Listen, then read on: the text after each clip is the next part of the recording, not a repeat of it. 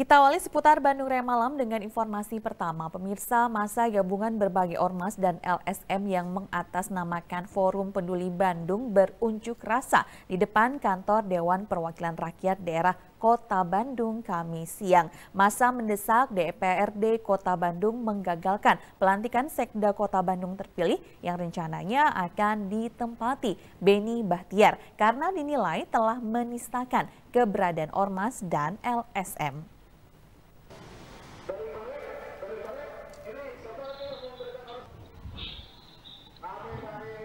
Masa Forum Peduli Bandung yang terdiri dari gabungan berbagai organisasi masyarakat serta LSM berunjuk rasa di depan kantor Dewan Perwakilan Rakyat Daerah Kota Bandung, Jalan Sukabumi, Kamis siang. Sambil membentangkan sejumlah spanduk dan poster, masa perwakilan tiap ormas dan LSM bergantian berorasi guna menyuarakan tuntutan mereka. Masa menuntut DPRD Kota Bandung tidak memberikan restu terhadap terpilihnya Beni Bahtiar sebagai calon sekretaris daerah Kota Bandung.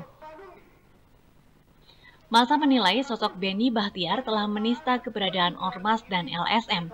Selain itu, masa pun curiga calon sekda Kota Bandung ini terjerat kasus korupsi selama menjabat sebagai asisten daerah tiga bidang ekonomi di Kota Cimahi. Sesuai dengan mekanisme hukum bahwa yang bisa menghentikan atau melanjutkan eh, SK SK pemilihan sekda itu Komisi A di Kota Bandung. Hanya kebetulan kan kita tidak bisa menemui ditemui oleh mereka, maka eh, apabila sampai tanggal 20 pelantikan Beni jadi setda tetap dilaksanakan, maka kita akan menggalang masa lebih banyak dari ini untuk menghentikan secara paksa pelantikan.